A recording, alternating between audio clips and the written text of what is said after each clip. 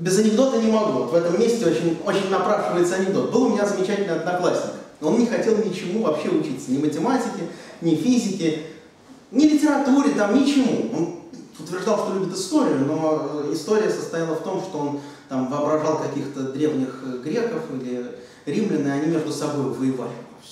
А физики он не знал. Школа была французская, ну, в смысле, она в России, в Москве была, но она учила французскому, а не математике.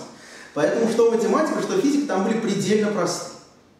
Вот. У меня до сих пор хранится уникальная контрольная, которую написал товарищ э, где-то там в дальнем углу. Э, задача была предельно элементарная. Нужно было найти давление, которое оказывает лопата на землю. Если известно, что ширина лопаты 50 сантиметров, ну, ширина лезвия имеется в виду лопаты, 50 сантиметров, толщина 2, скажем, миллиметра, если я правильно помню, не важно.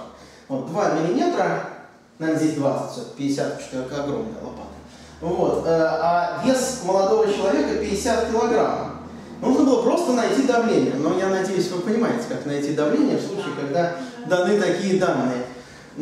Парень не знал, как искать давление, просто не учил формулу никогда, списать ему не дали.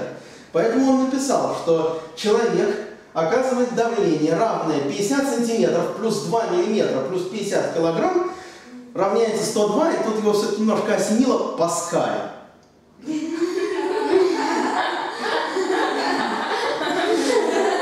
Это к вопросу о складывании крокодилов с карандашами. Конечно, так, так мы делать не будем. А число с числом почему-то не самый контрольный был другой вопрос. А когда, как вы думаете, человек оказывает на Землю большее давление? Когда он идет или когда он стоит? И ответ был написан так. Человек оказывает давление большее стоя, потому что стоя он действует на Землю всей массы.